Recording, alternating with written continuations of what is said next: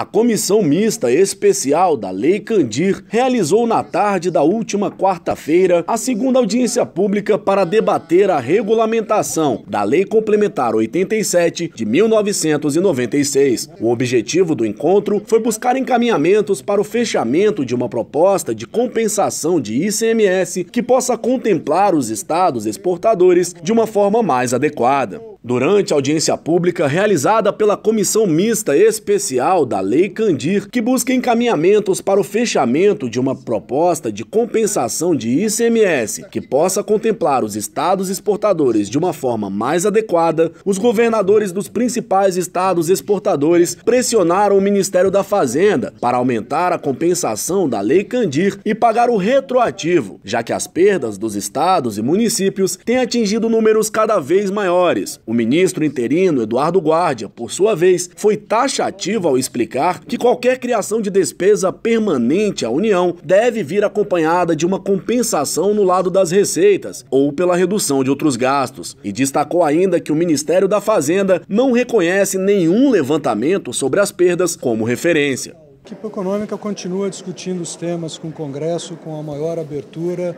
disposição para negociar, fazer o que é melhor o Brasil e levando em conta a dificuldade fiscal que nós vivemos hoje. Relator da comissão mista da Lei Candir, o senador Wellington Fagundes afirmou que seu relatório vai buscar o entendimento e o equilíbrio para que o texto produzido pela comissão especial seja possível de ser aprovado e cumprido. O nosso objetivo é encontrar um número que seja é, possível de ser aprovado pelo Congresso e também cumprido por parte do governo federal. Há uma discrepância muito grande, né?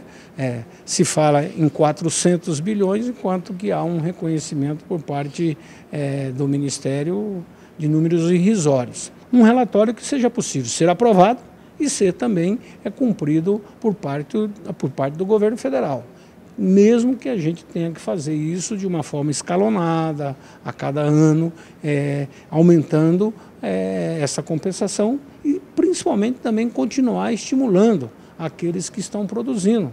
Né? E hoje, principalmente, a exportação dos produtos agropecuários é, e também das commodities é, minerais é que estão sendo responsáveis pela balança positiva brasileira. Para o presidente da Associação dos Municípios Mato-Grossenses, por mais que os estados tenham crescido com a Lei Candir, o governo federal deve reconhecer que houve muitas perdas e elas devem ser devidamente ressarcidas. Por mais que o governo federal está insistindo é, questionando os números apresentados pelos estados, das perdas, que não está previsto na lei é, especificamente assim, a complementação é, das perdas, né? é, que os estados cresceram com a desoneração do ICMS nas exportações, né? a sua, sua base de arrecadação cresceu, né? mas tudo isso é, é faz com que é, também abra a possibilidade de debate. Né? Nós acreditamos e vamos provar que os estados perderam, que os municípios perderam, e que o governo tem que fazer a compensação. No ano passado, o Supremo Tribunal Federal estabeleceu prazo até 30 de novembro de 2017 para que o Congresso Nacional regulamente a Lei Candir. Se até esta data não for aprovada uma norma com esse objetivo, o Tribunal de Contas da União ficará responsável por fazer os cálculos da compensação. A comissão especial pretende apreciar o projeto em plenário até o dia 20 de novembro.